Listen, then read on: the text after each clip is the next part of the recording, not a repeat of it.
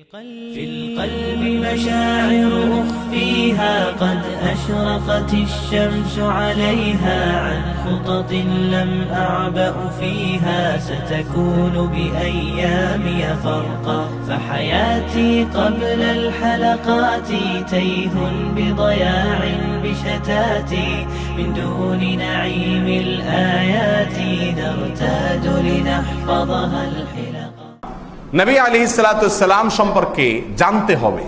তার সম্পর্কে কি করতে হবে? জানতে হবে, তার সম্পর্কে না জানলে তার প্রতি ভালোবাসা হবে না, আর তার প্রতি ভালোবাসা সবচেয়ে প্রবল না হলে ইমানদার হওয়া।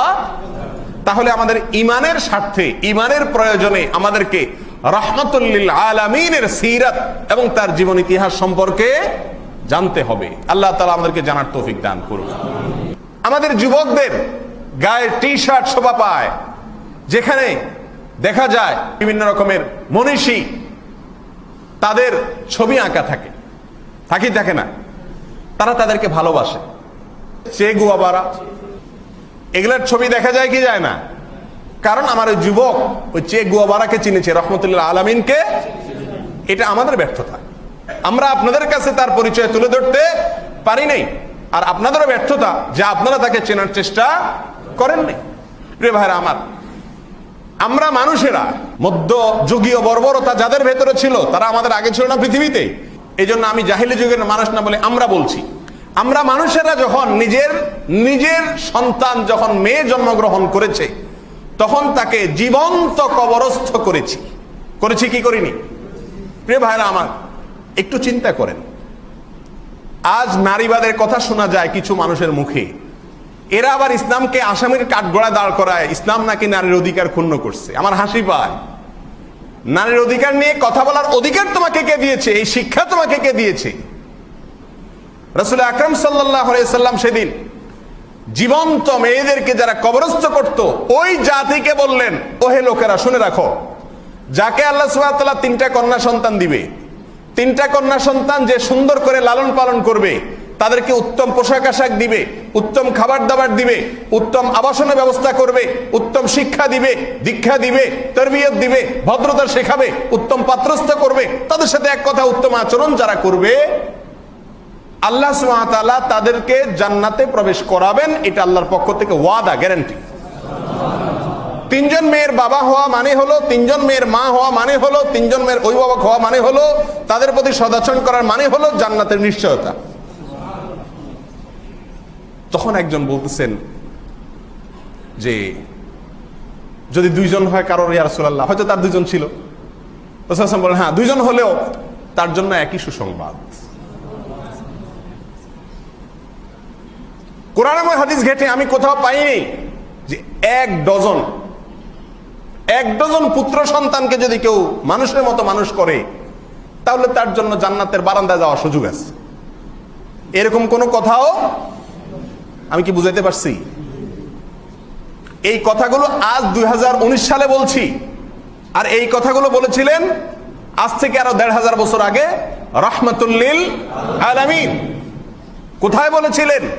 ওই সমাজে, যেই সমাজের মানুষের কাছে সন্তানকে, কন্যা সন্তান তিনটা হলে জীবিত রেখে তাদেরকে লালন পালন করে আদর যত্ন করা তো পরের কথা।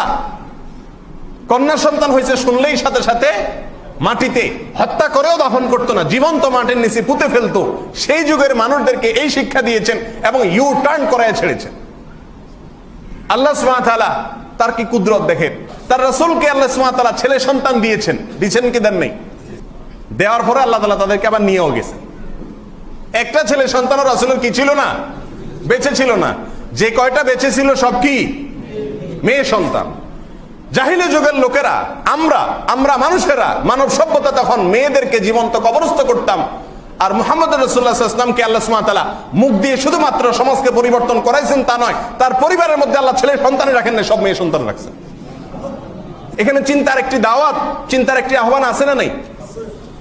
যে আল্লাহ সুমান তালা তার সঙ্গে তার রাসুলের ঘরে শুধু মেয়ে রেখেছেন, ছেলে রাখেন নাই। তার মানে ওহে আরবের লোকেরা, তোমরা যে অসভ্যতার, বর্বতার ভিতরে ডুবে আছো, তার হুবহু বিপরীত মেরুতে কাজের মাধ্যমে বাস্তবে নমুনা হয়ে আমার রহমতুল্লাহ আলমিনে দেখা গেছেন আর তোমাদেরকে সেই দীক্ষা দিয়েছেন। ওহে মায়েরা, ওহে মা বোনেরা, আরবের সেই অসভ্য কালচারকে যদি তিনি দাফন না করতেন, সেটাকে যদি তিনি পরিবর্তন না করতেন, আজকে, আজকের পৃথিবীতে হয়তোবা হয়তোবা নারীর সেই অবস্থান এখনও থাকতো, তাহলে আপনাদের জন্য রহমতুল্লাহ আলমিনের রহমত বোঝা যায় কি যায় না? মানুষ এখন জীবজন্তুর প্রতি ভালোবাসা, প্রকৃতির প্রতি ভালোবাসা, গাছপালার প্রতি ভালোবাসা মানুষ দেখায় কি দেখায় না? এবং এগুলো দেখলে আমাদের ভালো লাগে কি লাগে না? আরে ভাই, আপনি তো নতুন দেখছেন এগুলো। আরে দেড় হাজার বছর আগে চলে যান, আপনি তো জানেন না, আপনি তো চিনেন না রহমতুল্লিল আলমিনকে। রহমতুল্লিল আলমিন আরও দেড় হাজার বছর আগে বলে গেছেন, যে ব্যক্তি গাছের গাছের ডাল কাটবে যে ব্যক্তি গাছের ডাল কাটবে, ওই ব্যক্তিকে বিনা প্রয়োজনে, বিনা কারণে যদি গাছের ডাল কাটে, ছায়া নষ্ট করে, প্রকৃতি নষ্ট করে, এবং গ্রিন হাউস এফেক্ট, এটার জন্য যে দায়ী হবে, এই ব্যক্তিকে আল্লাহ সুমাতাল্লাহ তার মাথায় জাহান নামের আগুন ঢালবেন। আজ প্রকৃতি রক্ষার আন্দোলন করেন। প্রকৃতিবাদীরা, আপনাদের কাছে সেটাকে খুব ভালো লাগে। ইসলাম মনে হয় সেকেলে হুজুরা সব পুরান কথা বলে। আরে ভাই, এই কথা দেড় হাজার বছর আগে যখন আমার রসুল বলে গেছে, তখন এই সমস্ত প্রকৃতিবাদের কারোর জন্ম হয় নাই। এদের মাথায়ও সেগুলো আসে নাই। আরে, মানুষকে প্রকৃতির শিক্ষা তো দিয়ে গেছেন সে রহমতুল্লিল আলামিন। সেখান থেকে আমরা সরে গিয়েছি। সেজন্য আজ আমাদেরকে মুসলমানদেরকে শিক্ষা দেয় অমুসলমানরা, আমাদেরকে শিক্ষা দেয় নবীর দুশ্মনেরা, আমাদেরকে শিক্ষা দেয় কাফেরেরা, আমাদেরকে শিক্ষা দেয় বর্বরেরা, যাদের ঐতিহ্য, বর্বরতা ছাড়া কিছু নাই। আজ মুসলমানের সন্তানকে তারা শিক্ষা দেয়, কারণ মুসলমানরা রহমতুল্লাহ আলমিনের শিক্ষা জানে না। প্রিয় ভাইরা আমার গাছের ছায়ার নিচে যদি কেউ পেশাব করে তারপর জন্য ভৎসনা তিনি করেছেন। গাছের ডাল যে কাটে, তার জন্য ভৎসনা তিনি করেছেন। এবং তিনি বলেছেন, যদি কেউ কোনো গাছ লাগায় তাহলে ওই গাছ থেকে যদি কোনো পাখি খায় এবং কোনো ফল ঝরে পড়ে, কোনো কেউ সেটা ফাঁকায় ভোগ করে, তাহলে এই ব্যক্তিকে আল্লাহ তালা সদকায় জারিয়ার সব দিবেন। কে বলেছেন? রহমতুল্লাহ আলমিন বলেছেন, আজ আপনি প্রকৃতিবাদীদের, প্রকৃতির প্রতি মায়া কান্না দেখে তাদের ভক্ত হয়ে যাচ্ছেন, তাদের প্রেমিক হয়ে যাচ্ছেন। রহমতুল্লাহ আলমিনের প্রেম আপনাকে টানে না, কারণ আপনি জানেন না যে রহমতুল্লাহ আলমিন আপনার জন্য কি দিয়ে গেছেন। আজ বিশ্ব মানবতা সবক দেয় আমাদেরকে। লজ্জার কথা মুসলমানের জন্য। আপনি সবক নিচ্ছেন অমুসলিমের কাছ থেকে। আপনি সবক নিচ্ছেন বিভিন্ন মানবতাবাদীর কাছ থেকে। আরে ভাই রহমতুল্লাহ আলমিন যে সবক দিয়েছেন, সেই সবক যদি আপনি নিতেন, তা আপনার জীবন সোনালী জীবন হয়ে যেত। তারা আজ আপনাকে সবক দিতে আসতো না। প্রিয় ভাইরা আমার রহমতুল্লাহ আলমিনের পশুর প্রেম, জীবজন্তুর প্রতি প্রেম, ভালোবাসা কি ছিল? এক সাহাবি পিপিলিকা পোড়াচ্ছেন আগুন দিয়ে। বললেন যে, আগুন দিয়ে কেন পোড়াচ্ছ তুমি? কেন পড়াচ্ছ আগুন দিয়ে? বলে এগুলো আমাকে কষ্ট দেয়, উপদ্রব করে। আমি পিপিলিকা নিধন করছি। নবী আলাইসাল্লাম বললেন লাইউ আদিব বিন্নার ইল্লা রব্বুন্নার। আগুন দিয়ে শাস্তি দেওয়ার একমাত্র মালিক হলেন যিনি আগুনের সৃষ্টিকর্তা, আল্লাহ তার। পৃথিবীর কোন প্রাণীকে আগুন দিয়ে জ্বালিয়ে আগুনের ভিতরে ছটফট করতে করতে সে মরবে, এটা আমি সহ্য করব না। মারতেই যদি হয়, পিষে মেরে ফেলো, একসাথে মেরে ফেলো, তাকে আগুনে দিয়ে, তারপরে জ্বালিয়ে, তাকে আস্তে আস্তে কষ্ট দিয়ে পুড়িয়ে হত্যা করা, এটা আমি সহ্য করব না। নিষেধ করেছেন, হারাম করে দিয়েছেন। আগুন দিয়ে পুড়ে কোনো পশু হত্যা করা কে শিক্ষা দিয়েছেন? রহমতুল্লিল আলামিন শিক্ষা দিয়েছেন। গোটা বিশ্ব জগতের জন্য কীভাবে তিনি রহমত ছিলেন, দেখেন। আজ পশুর প্রতি প্রেম দেখায়। ইহুদি খ্রিস্টানেরা, অমুসলিমেরা, ইসলাম বিরোধীরা, নাস্তিকেরা, সেকুলারেরা আমাদেরকে শিক্ষা দেয় যে পশুর প্রতি প্রেমও দেখাইতে হয়। ওহে রহমতুল্লাহ আলমিনের অনুসারী, তার রোহানি সন্তানেরা, আপনাদেরকে তিনি শিক্ষা দিয়ে গেছেন। পশুর প্রতি পর্যন্ত কীভাবে মায়া দেখাইতে হয়? ইজা জবাহতুম যদি জবে করে কোনো পশুকে তোমার খেতে হয়, আল্লাহ হালাল করেছেন, খাও। কিন্তু আগে ছুরিটা ভালো করে ধার দিয়ে নাও, যাতে করে জবাই করতে গিয়ে অযথা তার প্রাণ বের হতে তাকে কষ্ট বেশি দিতে না হয়। কে শিখিয়েছেন? রহমতুল্লাহ আলামিন শিখিয়েছেন। একবার একজন সাহাবী বললেন যে, একটা পাখির দুইটা বাচ্চা বাসায় পড়ে আছে। এখনও হয়তো ওলার মতো হয়নি, ধরে আমরা নিয়ে আসলাম। পাখির বাচ্চা ধরে আনলে ভালো লাগে কি লাগে না? ভালো লাগে। তো নিয়ে আসছে ওনারা। নবী আলাইসাল্লাম বললেন, খবরদার, এটা তোমার জন্য জায়েজ নাই ছোট বাচ্চাকে তুমি এখান থেকে নিয়ে আসলে মায়ের স্নেহ থেকে, মমতা থেকে তাকে বঞ্চিত করলে তার মা অস্থির হবে? যাও, ওই পাখিকে তার বাসায় ফেরত দিয়ে আসো।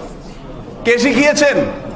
যে যুগের মানুষেরা, আমরা যখন জীবন্ত নিজের কন্যাকে দাফন করতাম, তখন একটা পাখির বাচ্চা পর্যন্ত কীভাবে মায়া দেখাতে হয়, সেটা রহমত তিনি করিয়ে দেখিয়েছেন কি দেখেন নাই?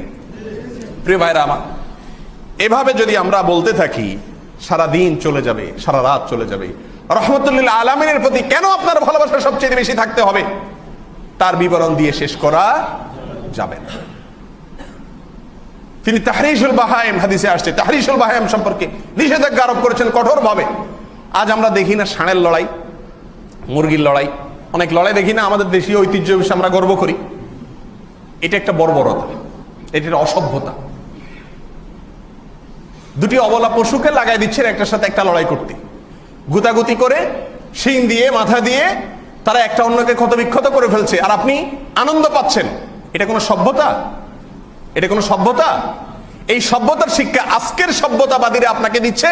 আরে রহমতুল্লাহ আলমিন আপনাকে দেড় হাজার বছর আগে গেছে বলে গেছেন, খবরদার, কোনো একটি পশুর সাথে আরেকটা পশুর কোনো অবস্থাতে লড়াই তোমরা লাগাবে না।